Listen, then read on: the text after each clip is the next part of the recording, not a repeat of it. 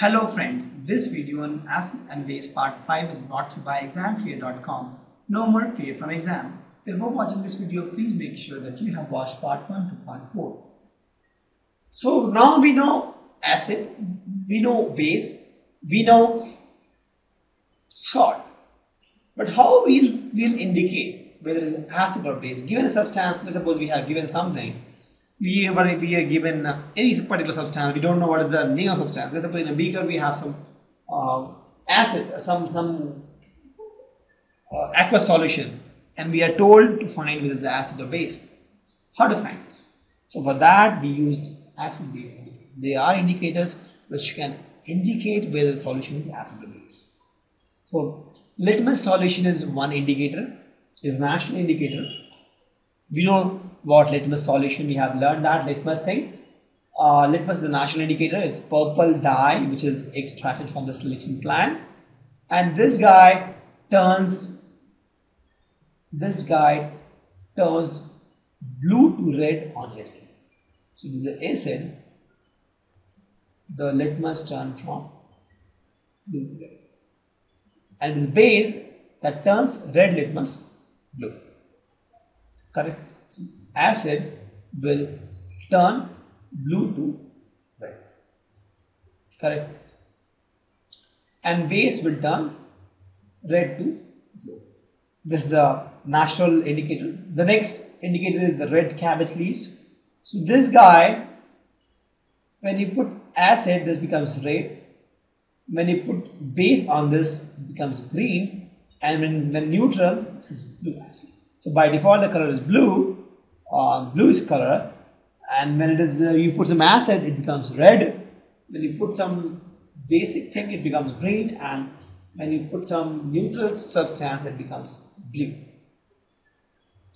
Turmeric is another thing. Uh, it is a yellow color turmeric it remains yellow. It remains yellow. If you put acid also it remains yellow.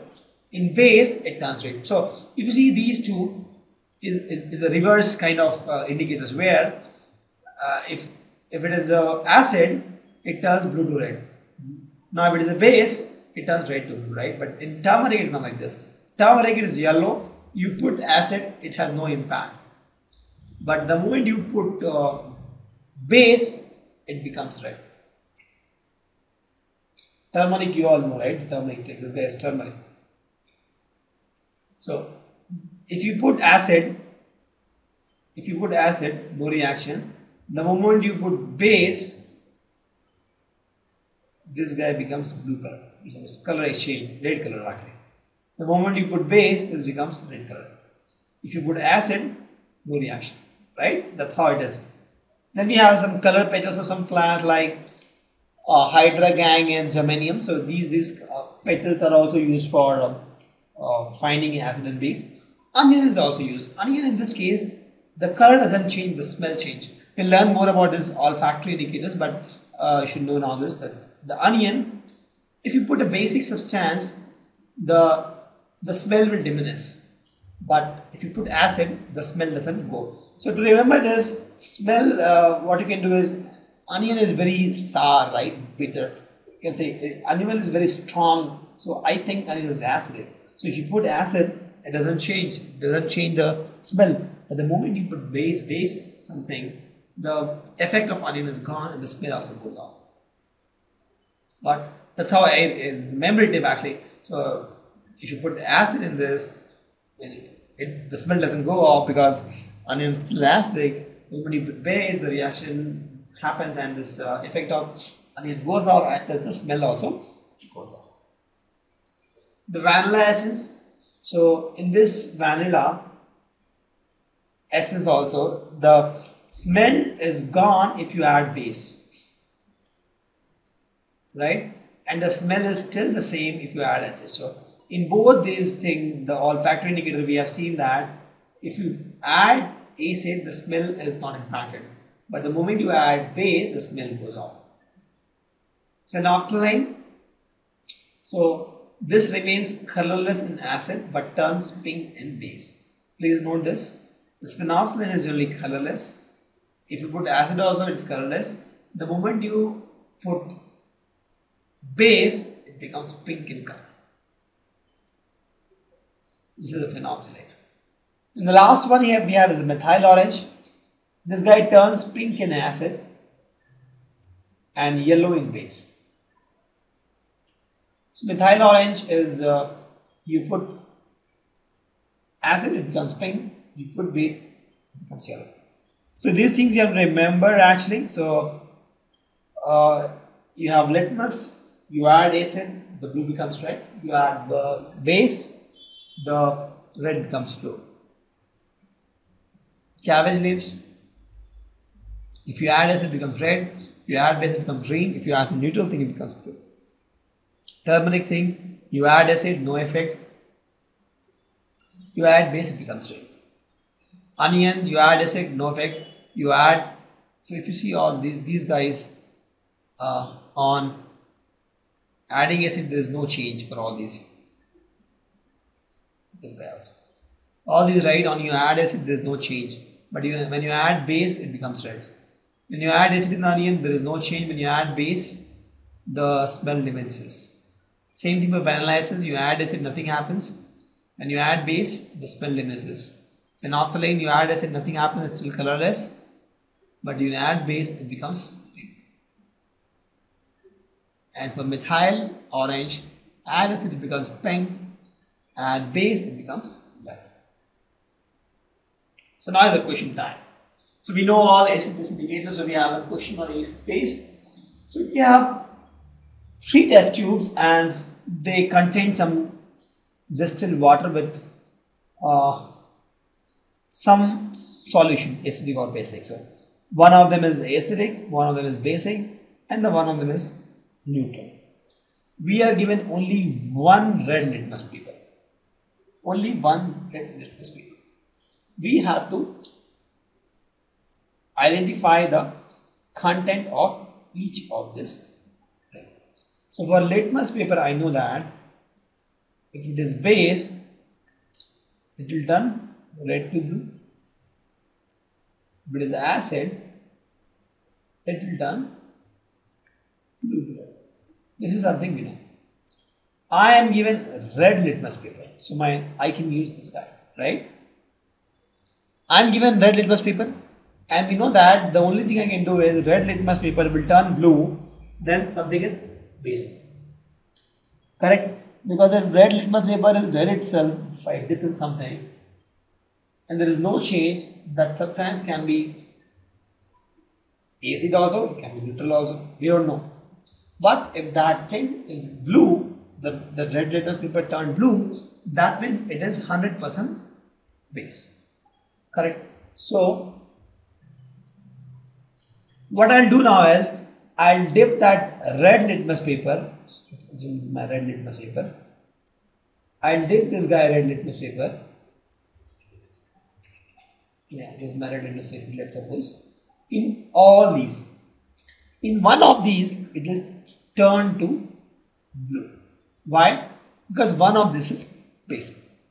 So let's suppose in this it turned blue. So that means this is my base. Correct? So I had one red litmus paper.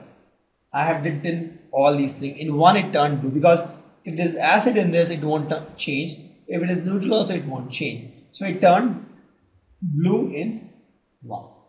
So now what I have, I don't have red litmus paper correct so now what I have is blue litmus paper please note my red litmus paper is turned into blue actually this guy will turn into blue so now I have blue paper this blue litmus paper I know this guy is base now I don't need to test this. So one of this is acid so blue litmus paper will turn to red only in case of acid. So if I dip this guy blue in this let's suppose there is no change that means this guy is neutral. And if I dip this guy in this, there is a change, that means it is a acid. So anything that converts blue to red is acid. So let's suppose I dip this guy in this and it converts to red, right? It converts to red, that means this guy is acid. And the last remaining is neutral. Correct? You understood what I have done? So what I have done here is, I knew that base will convert red to blue. I had, since I had red litmus paper, I don't have any other option other than finding the base first. So I dipped the base in all three, one by one. So I found that the moment I dipped in this guy, I mean, in, in whichever uh, test tube, the red litmus is turned into blue, that particular test tube is basic in nature. So I got this basic thing. I know that this guy is basic. Now I'm going to two test tubes to define which one is acid, which one is neutral. Now since I have blue, so blue will convert to red only in case of acid. So we'll dip this in both one by one and we'll find that the one which converts the again guy into red litmus paper is my acidic solution. So I found that here I got converted into red, this is the acid and the last remaining is the base. Now the question which we ask, water is acid or base? As you see, when I explained the application of acid or base, I have included water in both the case. That means water is both acid and base, depending on how you look at it. It is all your perspective that matters. Water is both acid and base. It's debatable topic. Some people are um, firm on this saying what is acid. Some people are firm on this saying what is base. Actually, it is both acid and base it is considered acid in some reaction, base in others. Because as I told, acid is something which gives hydrogen and base is something which takes hydrogen, right? So in some case water takes hydrogen, in some case water gives hydrogen, right? So water is both acid. We'll see the reaction. Example in this case, you have water plus water. This H2, 2H2 is nothing but H2O plus H2. So in this case, if you see, this guy, if you see this reaction, H plus OH minus I wrote, so this guy is giving one electron. So this guy becomes H3O plus and this guy is losing electron. So this guy, if you see is an acid, this guy is a base, correct? Since this guy is giving us uh, hydrogen as an acid, since this guy is accepting a hydrogen as base, but you see both of water. So in this reaction, some part of water is acting as a acid, some part of water is acting as a base. So this is a typical reaction where water is acting both as acid base. It is accepting hydrogen also and it is giving hydrogen also. Correct? Now, if you see the water we drink, the drinking water I'm talking about, the drinking water, it has ions in it. And these ions also make them acidic or basic. Example in water, water, you put salt, common salt, that is NaCl. NaCl will become Na plus NCl minus ions, right sir? So this is Na plus NCl minus. So the same example I'll take, this is my glass and there's some water in this and I put NaCl so this becomes Na plus lot of Na plus and lot of Cl minus ion floating around right so if you see this what happens here is all the ions and sometimes these ions also define whether it is acidic or basic depending on the kind of ions you have put right? So the, the, the distilled water is both acidic and basic depending on the reaction. And also on the types of ion which is there in the water because most of the water we drink are not the distilled water it has some ions in it. So those ions also define the acidic or basic property of the water thank you visit examfear.com to watch free educational videos try free online tests get the best quality study materials study from the best tutors and mentors, and much more. Thanks once again.